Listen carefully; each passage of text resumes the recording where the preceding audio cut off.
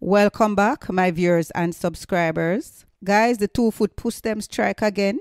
And I am talking about the set of puss who always are rob Mr. Chin store.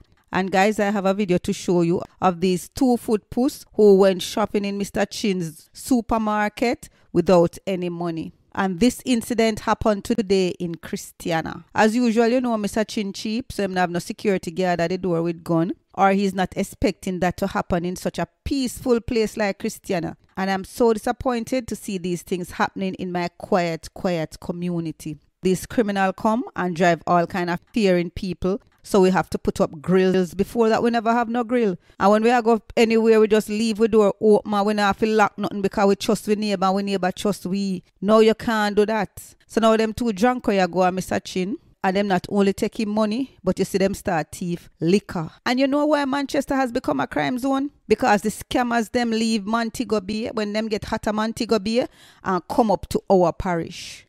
That's what they do. They come and act like they belong here when really they don't belong here. Them a transplant. Them come from Montego Bay, but when the scamming start get hot, them migrate to good, good St. Elizabeth and good, good Manchester. We need to weed them out of a good, good Manchester. Persons need to look out, out for them. Them strange bleach out tight pants boy there and report them to the police. Anyway, guys, watch the video and let me know what you think about it in the comment section.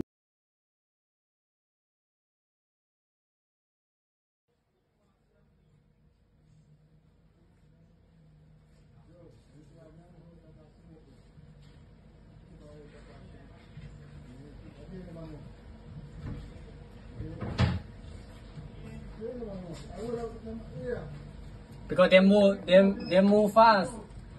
They only take out of the giant. They move fast. You see, they move fast.